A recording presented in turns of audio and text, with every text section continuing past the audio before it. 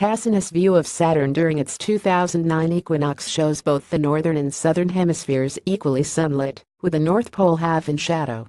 Since then, the sun has risen fully over the north, while the south has slipped into winter shadow.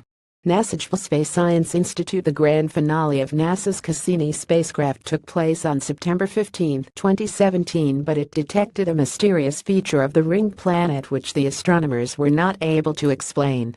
Also read NASA's Hubble reveals more about mysterious pitch-black exoplanet top things. To know here are the top 7 things to know about this finding 1. The feature is known as Peggy, which is a shifting spot on the edge of one of the planet's rings. NASA astronomers expect it to be a new formation. 2. This finding is likely to give an insight into the origin of Saturn's the other known icy moons.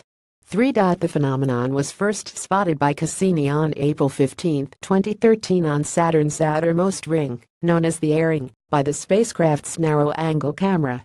The disturbance visible at the outer edge of Saturn's A-ring in this image from NASA's Cassini spacecraft could be caused by an object replaying the birth process of icy moons.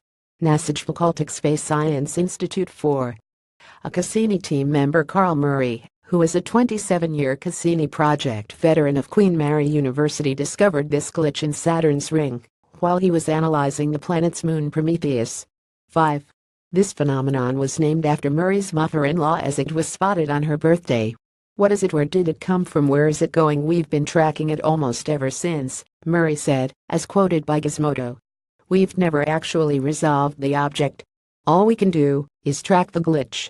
Also read as Earth being spotted by aliens from exoplanets 7 things to know 6. The researchers are speculating that this feature might be pointing towards the formation of a moon. It also might be an enormous object causing glitch in the ring, they felt. But this hypothesis was ruled out, given the fact that such a massive object would have caused more chaos due to its size. 7.